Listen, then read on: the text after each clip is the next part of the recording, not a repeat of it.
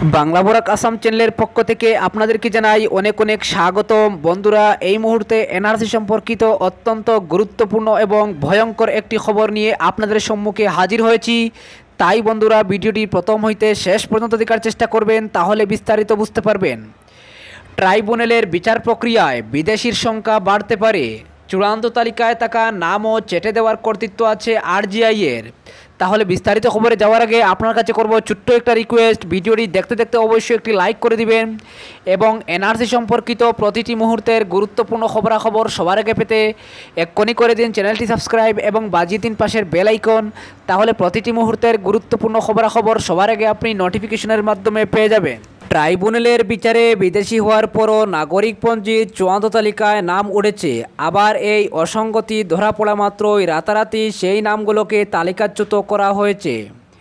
একত্রিশ আগস্ট এনআরসির চূড়ান্ত তালিকা প্রকাশের পর এই ঘটনা প্রবাহকে কেন্দ্র করে সরগরম রাজ্য রাজনীতির পরিমণ্ডল।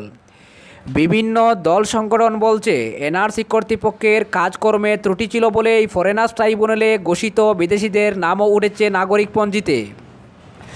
তবে সেটা চোখে পড়ার পরই রাতারাতি সেসব বিদেশিদের নামের পাশে লিখে দেওয়া হচ্ছে reject.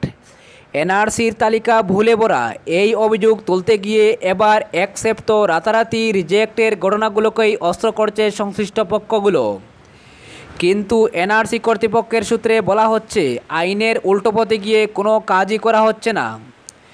Citizenship registration of citizens and issue of national identity card rule দুই হাজার তিনের তফসিলের চার তিন দ্বারায় স্পষ্ট বলা হয়েছে, যে কোনো সময় নতুন করে ভেরিফিকেশন হতে পারে এবং তার ভিত্তিতে এনআরসি থেকে চেটে দেওয়া হতে পারে যে কারও নাম। তাছাড়া এনআরসির যে তালিকা বেরিয়েছে সেটা এখনও চূড়ান্ত নয়। একত্রিশ আগস্ট শুধু অতিরিক্ত তালিকা প্রকাশ করা হয়েছে।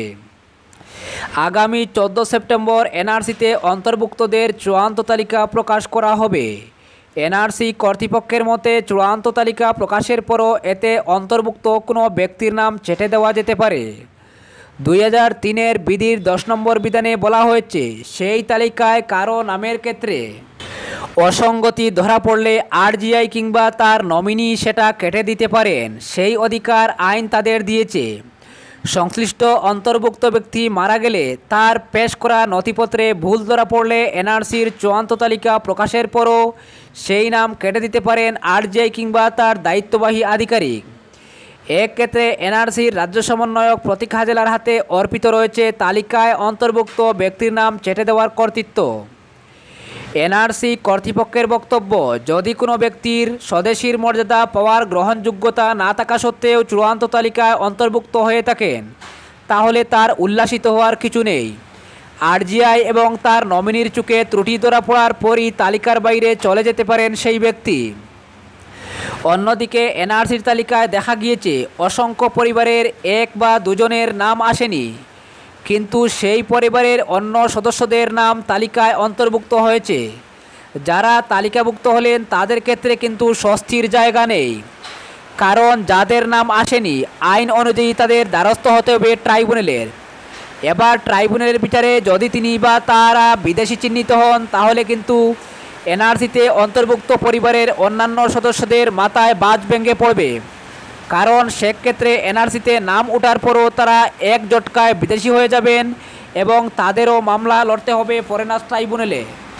আখতারা খাতুন বনাম রাজ্য সরকারের মামলায় গুয়াহাটি হাইকোর্টের দুই বিচারপতি পি কে ফুকন এবং বিচারপতি উজ্জ্বল বুইয়াকে নিয়ে গঠিত ডিভিশন বেঞ্চ দুই হাজার সতেরো সালে পরিষ্কার বলেছে যে একজন বিদেশি ঘোষিত হলে তার ভাই বোন এবং পরিবারের অন্যান্য স্বজনকেও বিদেশি বলে ধরে নিতে হবে। ফলে সীমান্ত পুলিশের এসপিকে সেই বিদেশির বংশজনদের নাগরিকত্ব তদন্ত করতে হবে। সেই রায়ের চব্বিশ নম্বর পরিচ্ছেদে একথা বলেছে ডিভিশন বেঞ্চ। আইনি মহল বলেছে, এনআরসিতে পরিবারের এক বা দুজনের নাম ওঠেনি। পরিবারের অন্যান্যরা অন্তর্ভুক্ত হয়েছেন এমন নজির অসংখ্য। যাদের নাম ওঠেনি, স্বভাবতই তাদের ফরেনার্স ট্রাইব্যুনালের দরজায় কড়া নাড়তে হবে। ট্রাইব্যুনালের বিচারে যদি তারা শেষ পর্যন্ত বিদেশি বলেই ঘোষিত হন, তাহলে কিন্তু পরিবারের অন্য যেসব সদস্যদের নাম এনআরসিতে উঠেছে, তারাও ট্রাইব্যুনালের বিচারের মুখে পড়ে যাবেন। সংখ্যালঘু সংগঠনগুলোর দিক থেকেও বলা হচ্ছে, এনআরসি চুটের সংখ্যা এই মুহূর্তে উনিশ লক্ষ টিকি। এবং লক্ষ্য চালিয়ে কুটির করে বিদেশি থাকার মিট যে ব্যাঙ্গে দিয়েছে এনআরসি, সেটাও কিন্তু সত্যি। কিন্তু ট্রাইব্যুনালের বিচার প্রক্রিয়া যত এগোবে, ততই দেখা যাবে যে বিদেশির সংখ্যাটা লাফিয়ে লাফিয়ে বাড়ছে। যেমন ধরা যাক, কোনো পরিবারে বাবা মা এবং ভাই বোন মিলিয়ে আছেন সাত থেকে আটজন কোনো এক ভাইয়ের নাম এনআরসিতে আসেনি। ট্রাইব্যুনালে যাওয়ার পর তাকে বিদেশি হিসাবে ঘোষণা করা হলো। সেক্ষেত্রে গুয়াহাটি হাইকোর্টের রায় অনুযায়ী সেই পরিবারের সবাই বিদেশি সন্দেহের বৃত্তেই চলে আসবেন। তাদের নামে ট্রাইব্যুনালে মামলা পাঠাতে পারবে সীমান্ত পুলিশ এবং ট্রাইব্যুনালের বিচারে যদি উনিশ লক্ষের মধ্যে অন্তত সাত লক্ষ বিদেশি ঘোষিত হন, তাহলে গড়পড়তা পরিবার পিছু সদস্যের সংখ্যা পাঁচজন করে ধরা হলে মোট হিসাবে তা হয়ে দাঁড়াবে পঁয়তাল্লিশ লক্ষ। ফলে উনিশ লক্ষ বাদ পড়েছে এনআরসি থেকে।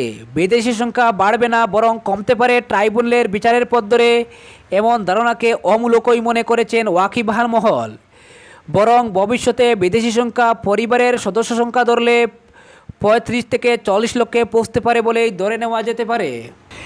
এ বিষয়ে গুয়াহাটি হাইকোর্টের সিনিয়র আইনজীবী হাফিজ রশিদ আহমেদ চৌধুরীর বক্তব্য।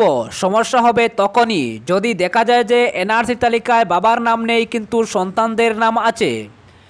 ট্রাইব্যুনালের বিচারে সেই বাবা যদি বিদেশি সাব্যস্ত হন, তাহলে এনআরসিতে নাম উঠলেও বিদেশি সন্দেহের বৃত্তে চলে আসবেন সন্তানরা। তাদের নাম এনআরসিতে ওঠা সত্ত্বেও ফের ট্রাইব্যুনালে বিচারের মুখে পড়তে হবে তাদের। কিন্তু ছেলেমেয়ের নাম আসেনি, বাবার নাম এসেছে, এসব ক্ষেত্রে হয়তো সমস্যা নেই। কারণ বাবার নাম এনআরসিতে আছে মানেই তো তার সূত্র ধরে ছেলেমেয়ে স্বদেশী মর্যাদা পাওয়ার যোগ্য। এখান থেকে পরিষ্কার যে এনআরসির চূড়ান্ত তালিকায় যাদের নাম ওঠেনি, তাদের সূত্রে পরিবারের অন্য সদস্যদেরও বিদেশি হয়ে যাওয়ার সম্ভাবনা রয়েছে। বিশেষত বাবার নাম নেই, কিন্তু ছেলেমেয়ের নাম আছে। এক ক্ষেত্রে সংখ্যায় থাকতে হবে সেই সন্তানদের।